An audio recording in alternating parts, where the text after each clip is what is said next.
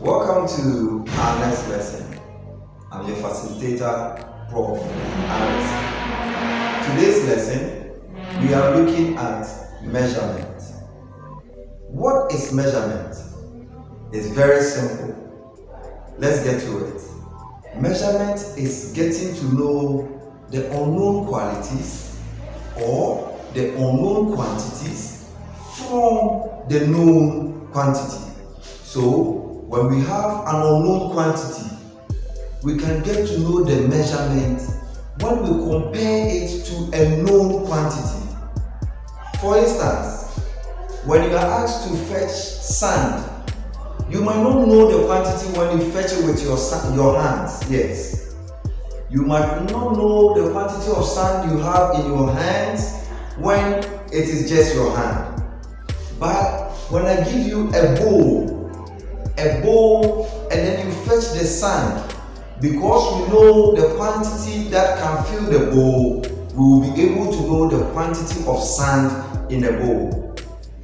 Our parents that sells in the market are able to do this when they have their measuring cylinder. They have a small measuring container. They use that one to measure rice beans and so on your mother will tell you it is called the olonka ask your mom. She will explain it to you. With that known quantity we can get to know an unknown quantity. So when he takes the margarine tin he will fetch some quantity of rice and then say this is one tin. He will fetch two and say this is two tins this is these are processes and ways by which we get to know from an unknown quantity. Measurement. Knowing the unknown from the known. Alright. Now, under measurement, we have physical quantity and a physical quantity is a quantity that can be measured. A physical quantity is a quantity that can be measured.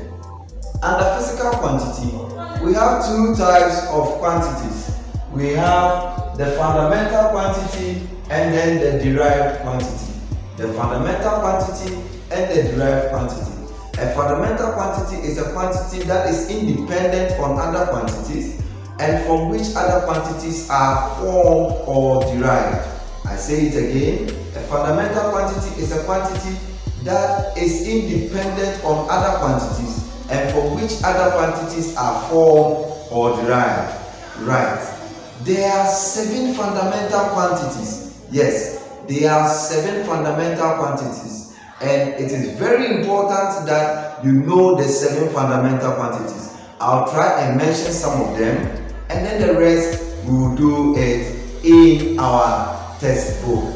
The seven fundamental quantities are time, length, mass, temperature, amount of substance. We have also luminous intensity.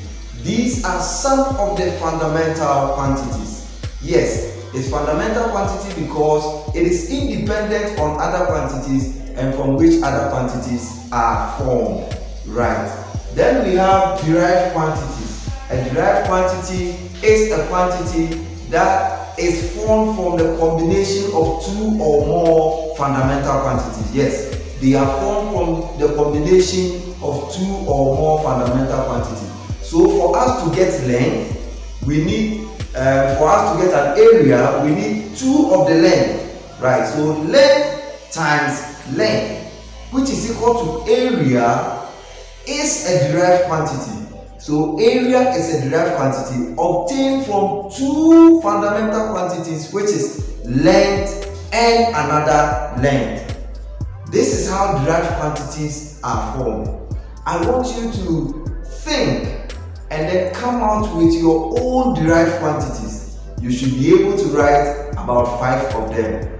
I will want to leave you here saying that a fundamental quantity is independent on other quantities, but derived quantities are formed from the combination of two or more. Assignment for today List all the fundamental quantities. Yes, I told you there are seven. Um, list five derived quantities. That is also very easy. I'll see you in the next lesson. Enjoy yourself. It's been your facilitator, Prof. R.S.K.